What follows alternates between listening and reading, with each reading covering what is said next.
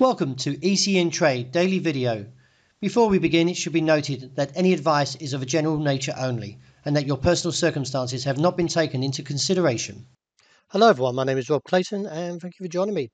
The Australian dollar edges closer to the 60-day moving average seen around 71, 70, 80.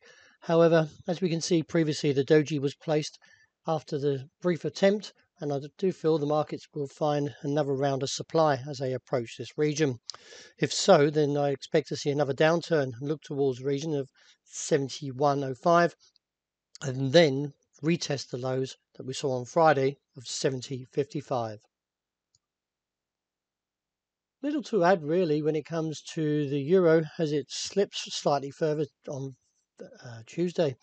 In light of the pattern, I still feel the market needs to demonstrate a little bit more weakness to support a bearish case. And therefore, if we can see a close underneath 114.15, then that should uh, trigger a further move down to 113.65 to 113 the figure. Any advances should still find the resistance or a cap at 114.7080. The dollar yen still holding to a relatively bullish case since its rebound and therefore looks towards that top side resistance around 115.90 figure. I feel like last time we will get a, possibly a rejection from there and then look down back towards the bottom side of the range around 114.20 to 113.65.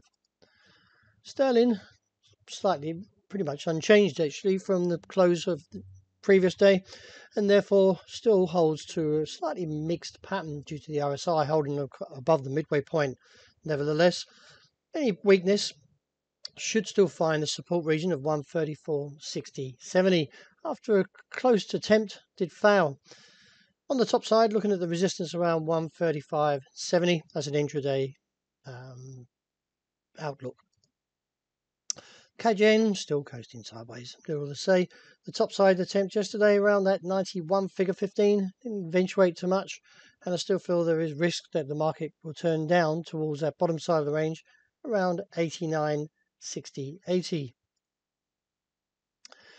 Spot gold, well, that's edging higher and still looking like it's got potential to get to the region of 1,833.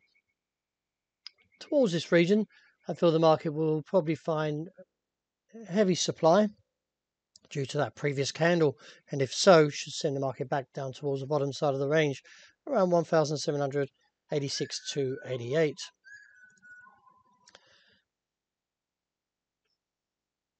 The bearishness for oil increased overnight and got down to a low of 87.44, taking out the support level of 88, 88 60, 65, but didn't close under there.